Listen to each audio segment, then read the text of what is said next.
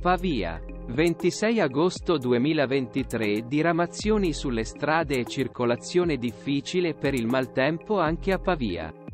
Il primo dei temporali attesi per oggi.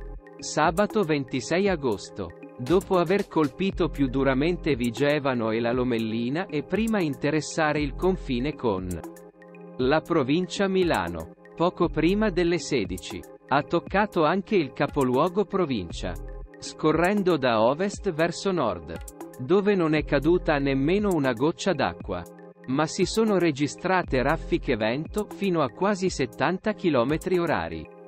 Pianta sradicata cade sull'oratorio nel quartiere Città Giardino.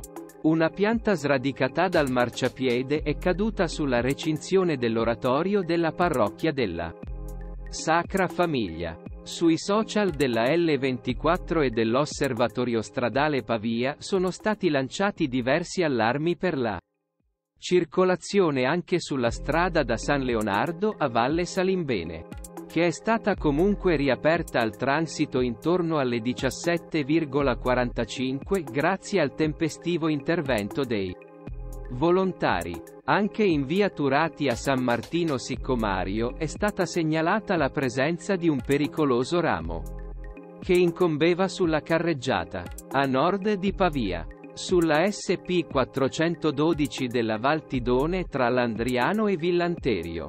Sono stati segnalati alberi caduti sulla carreggiata. Per fortuna non feriti. Nel Pavese treni bloccati sulla linea Milano-Genova per un albero caduto sui binari dalle 17.40. Hanno ripreso gradualmente con ritardi.